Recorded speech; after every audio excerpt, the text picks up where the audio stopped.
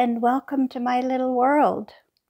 So this week I worked on the Brick Townhouse and I'm making good progress on it, but it was a process of trial and error on the windows because I thought I could repeat what I had done on the Painted Lady house, but it wasn't quite working out that way. So you'll see my process and it is continuing on to next week.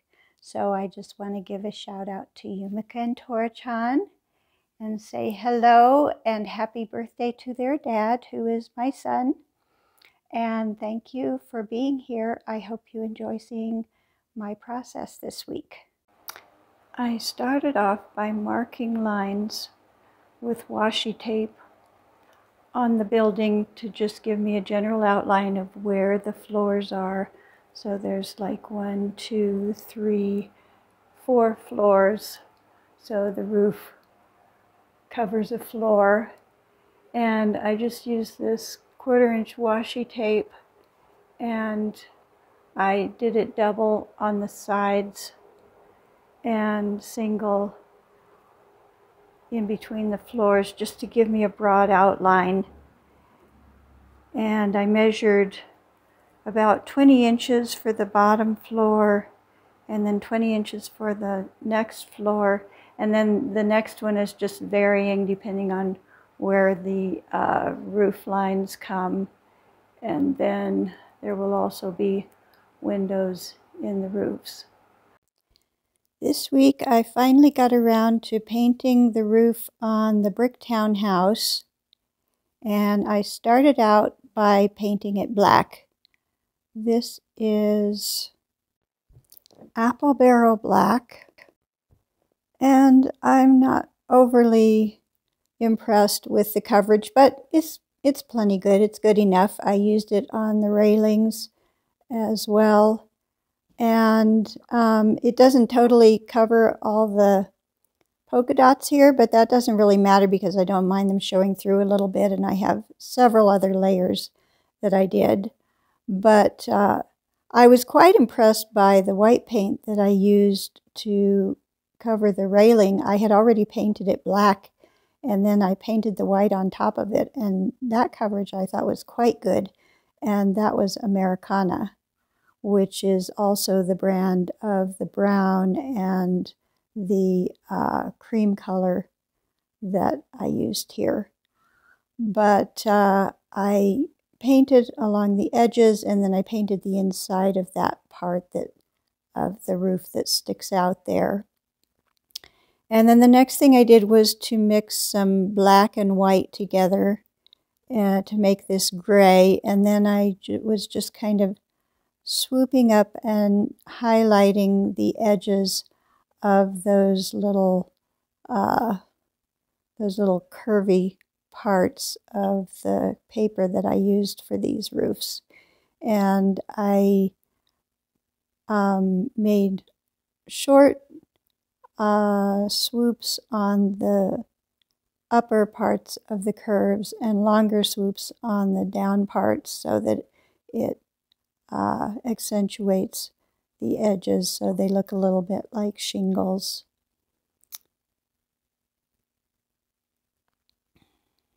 I also did it up at the very top.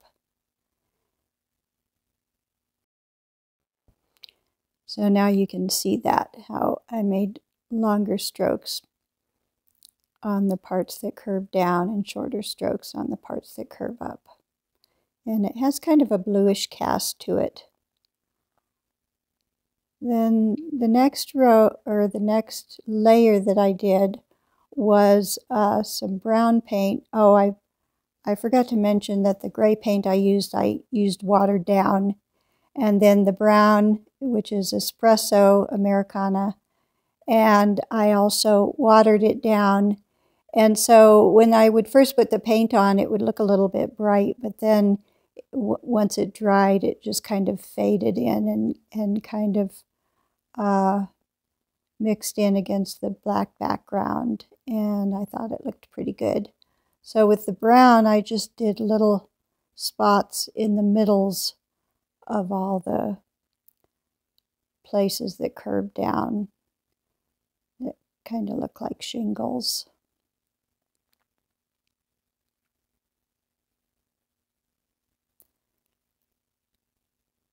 And then the last thing I did was to use the Americana Almandine. And again, it's watered down. And I just did that in a horizontal direction just to add a little bit more dimension and weathering to the roofs. And I think that once I put the windows on them, that they will make a fine backdrop as the roof. I also made a side piece to match the front roofs. And I just took, there were like three leftover pieces of that curvy uh, paper. And I took that and used that as a template and just cut out some cardboard. It was like cereal box cardboard in the same shapes and glued them onto foam board here and painted this one the same way that I painted the front ones. I actually used this one as my test piece. I would paint first on this one to see if it looked good to me and then I would paint on the ones that were already on the building. So then to glue this up, it, uh, it warped a little bit when it was drying, when the paint dried. I had it under some books, but it was still a little warped. So I was trying to figure out how I was going to get it on here. I don't have any clamps that would fit this sort of thing. So I ended up coming up with this idea of tying this rope around it. And I just put uh, wood glue on the back of the foam board and attached it to the container and then tied these. I actually tied these around before I stuck it in there with the glue so that they could hold it on and it worked quite well. Uh, it was it was kind of bent and once I put the ropes around it, it sat pretty snug to the container and then it's been drying so I'm pretty happy with this and then I also just added some washi tape around the edges of the roofs to give them a little definition. And I'm very pleased with them. It's the next day and the glue is dry. And I also added some blue vinyl to the edges of the container so that it kind of looks like, gives the impression of sky behind the roofs. And then I had a little more washi tape around the edges. I've been designing windows based on this sketch I made of a Beacon Hill, part of a Beacon Hill house um, and I'm kind of switching things around and making them my own. I looked online at some Victorian uh, windows also, but I just kind of use this as a basic idea. And I'm actually switching the sides on this because I think the way I ended up cutting out the foam board for the roofs, I ended up switching it so that the the one that sticks out is on the left rather than the right. Um, and that means that you have to open that door first if you're opening it into the to see the inside of the building. And it's a bit of a challenge to uh, do the outside and still be able to open up the doors properly so that you can see the inside. But um, this is what I have so far. I have this design in the front and then uh, this is the door which is going to be cut in half so that the, so that it can be opened. And then I have two windows on the side. So I've changed it from the drawing had the door on the left but I'm putting it in the middle and making it symmetrical with windows on both sides and I think that's going to look good. And then I have some other windows and I've just cut these out of paper. And then, uh, so this is this arch doorway um, that goes on the second floor. And then this is a more detailed sketch of the window. And then um, I just cut out pieces of paper like that just to tack them up here and see how they look.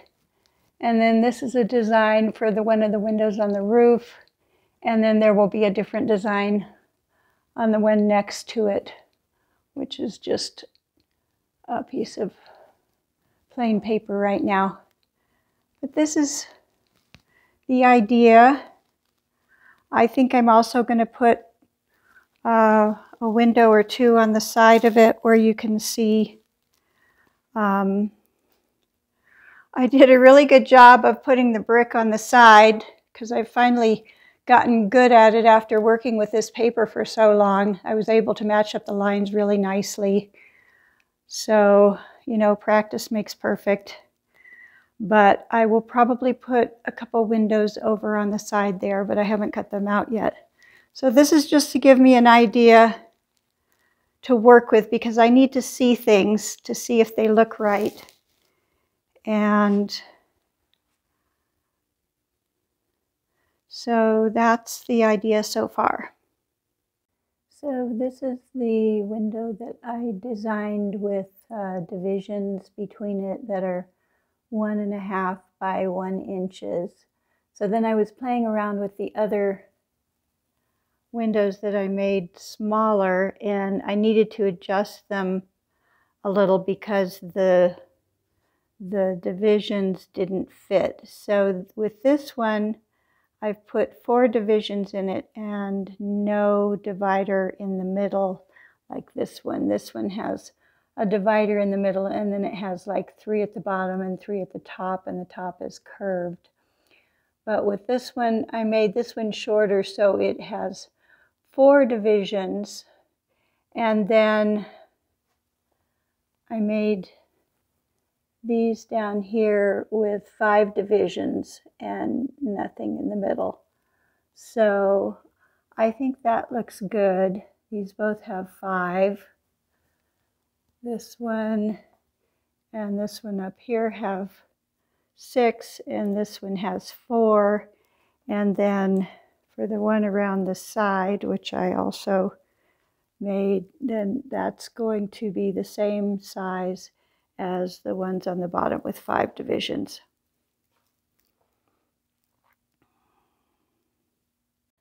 I bought the, this adhesive vinyl at Hobby Lobby that's called Matte Opal. I was trying to get something similar to what I got for the Painted Lady House, uh, but this is a different brand and a different color.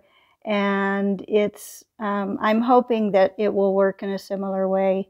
Uh, I think it I think it will look good as the windows, but I'm not sure yet how it's going to turn out because I haven't done it yet. So I cut out the shapes of the windows and uh, I just use scissors to do it and uh, it has this nice half inch grid on the back so that makes it easy for cutting and measuring and these strips over here, I haven't cut the arched parts at the tops of them, but these are all the pieces that I need for the windows on the brick townhouse.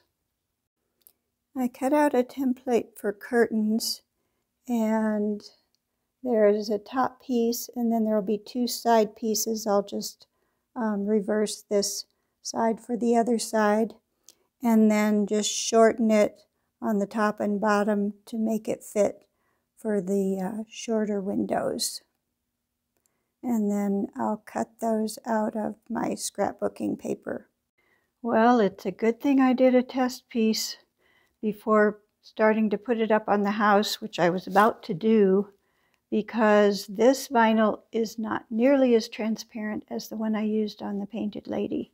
So on the left, is how this vinyl looks and you can't see the brick through it at all, whereas the other one I used on the painted lady was quite transparent and I painted underneath it and put the curtains underneath it so that I was going to do the same thing here.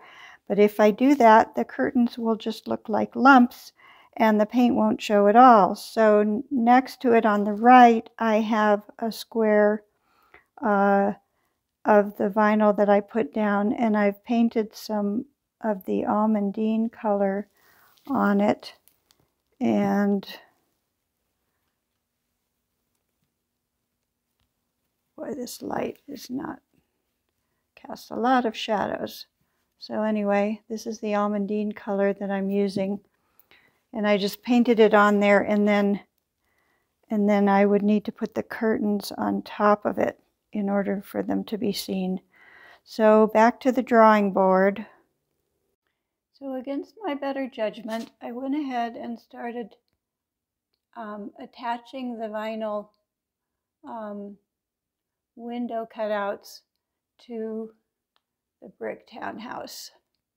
And I say against my better judgment because I was feeling like I should figure out what I'm doing on the windows, do that all, and then attach them but something in me just wanted to go ahead and put these on and just work from here. So I kind of have to listen to that voice in my head, even though it doesn't always make a lot of sense. And sometimes it ends up causing problems. But, you know, I just kind of have to go with that process for myself. And that was what I wanted to do. And it, it always helps me to have things here to help me visualize and see what I'm doing and what it's going to look like. So I'm just going to work from here and work on the curtains and painting these. And I think I'm going to be able to figure it out. So now I've done it and I'm happy with it. It is coming along.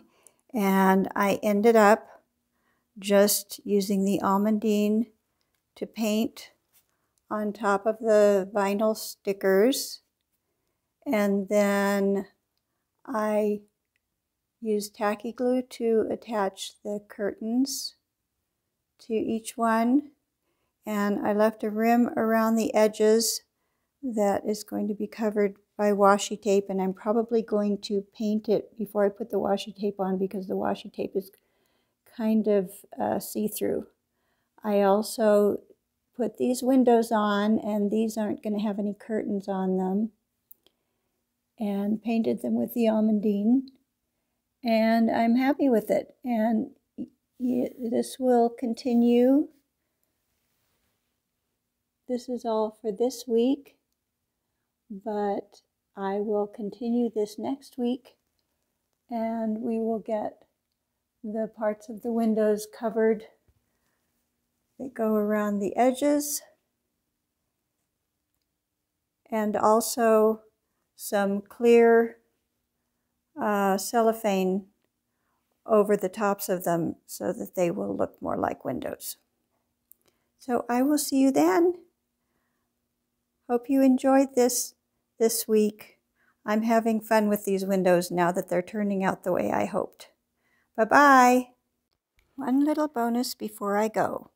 So I made a tunnel for my train to put against this wall. I just cut it out of black foam board.